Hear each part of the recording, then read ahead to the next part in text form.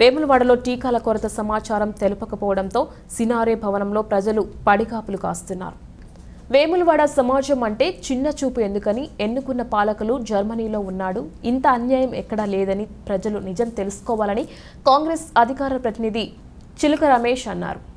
Paper ద్వారా చెప్పడం ప్రతి మనిషికి ఎక్స్ప్లెయిన్ అయిపోయింది. తెలంగాణ రాష్ట్ర ప్రభుత్వం ప్రతి ఒక్కరూ కోవిడ్ టీకా తీసుకోవాలని చెప్పి మరి పేపర్ల మీడియాల పదే పదే ప్రకటన చేస్తున్న వైద్య ఆరోగ్య శాఖ మంత్రి. మరి వేములవాడ వెంటనే స్పందించి దీనిపై సమగ్రమైన విచారణ చేసి వీళ్ళకు అందుబాటులో ఉండే విధంగా వీళ్ళు తిరిగకుండా ఉండే విధంగా వీళ్ళకు ఆధార్ కార్డు తీసుకొని వాళ్ళ పేరు నమోదు చేసుకొని వాళ్ళు ఫోన్ చేసి వాళ్ళకి వెంటనే టీకాలు ఇప్పించాల్సింది అనేది